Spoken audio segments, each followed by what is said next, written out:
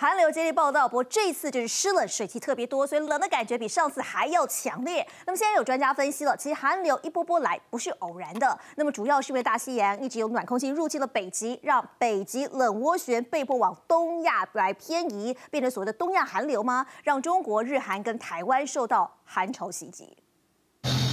山上一片雾茫茫，伴随冷空气进逼，气温持续下滑。上一波寒流才刚过，这回气候新一波寒流又来袭。不管是跨年的那一波寒流，或者是现在这一波的寒流的，其实我们都可以看到，在日本、韩国附近，其实是有一个非常明显的高空的低压槽，也就是这个高空低压槽引导西伯利亚的高压南下，影响台湾，才会为我们带来这么。明显低温的状况。七号晚上寒流报道，气温只剩下八度，要一路冷到九号上午，低温加水汽，体感温度会来到三到四度左右。不过接下来十一号还有一波冷空气接力。